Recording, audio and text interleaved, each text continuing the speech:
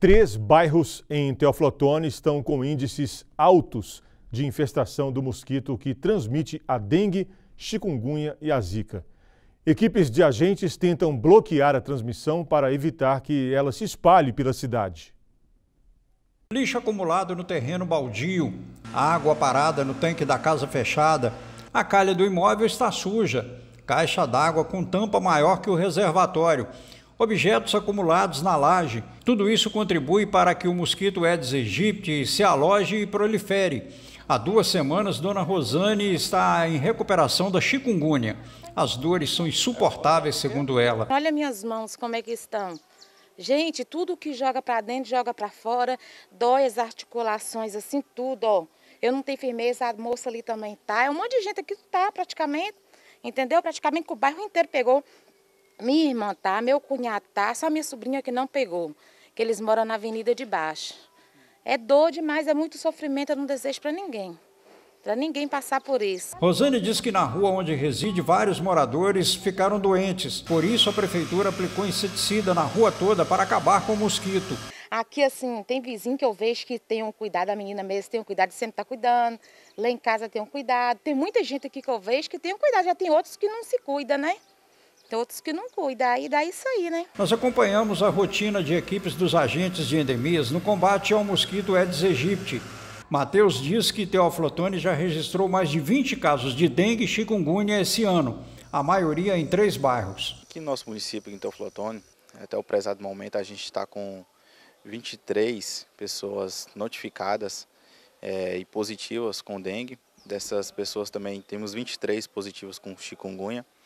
É, o bairro com maior incidência é o bairro aqui da Matinha, é, de Jacência, é, então aqui as pessoas que moram nessas localidades aqui do bairro da Matinha, a gente pede né, uma atenção redobrada, os cuidados de prevenção no que se trata a dengue aqui no nosso município.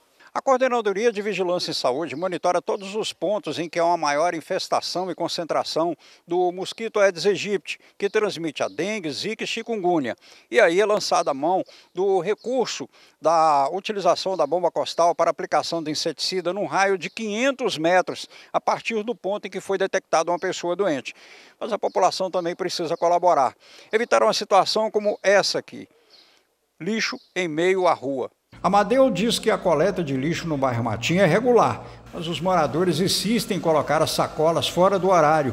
Isso aumenta o risco a várias doenças. O pessoal não coopera com a gente. Se eles cooperassem com a gente, colocassem o lixo na quarta e a, na segunda e a quarta de sexta-feira, a parte da manhã, e o lixo coletava o lixo e ia embora, né? Mas é depois o carro do lixo passa, ele joga o lixo de novo. Aí vai juntando dengue, juntando urubu, como eu tô falando com você. Para evitar que o mosquito contamine mais pessoas, Matheus destaca os principais cuidados que a população precisa ter contra o mosquito. A população ela tem descuidado da seguinte forma, né?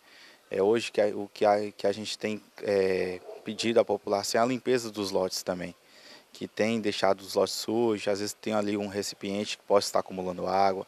É, também está verificando a caixa d'água se está corretamente tampada. É, tem gente, tem, tem bairros aqui da nossa cidade que, é, devido à falta de água, mesmo com essa chuva, tem alguns bairros que sofrem aqui com a escassez de água. As pessoas, isso leva a população a estar armazenando água em, em recipientes e de forma incorreta, às vezes não sabe fazer a higienização desse, desses vasilhas, dessas vasilhas. Isso, então, isso tudo leva é, o aparecimento e a proliferação do mosquito Aedes. Em caso de suspeita de ter sido picada pelo Aedes aegypti, Mateus recomenda aos pacientes buscar ajuda nas unidades de saúde, mesmo à noite. A gente recomenda à nossa população, se alguém estiver sentindo sintomas de dente, cungunha, dores na articulação, dores atrás dos olhos, é, dor abdominal, é, dor de cabeça, procurar uma das nossas unidades de saúde. Hoje nós temos cinco médicos noturnos espalhados né, aqui no nosso município. Também tem a unidade pronto atendimento, a UPA, pode estar procurando, vai ser notificado e o médico vai estar com, entrando com o protocolo do medicamento.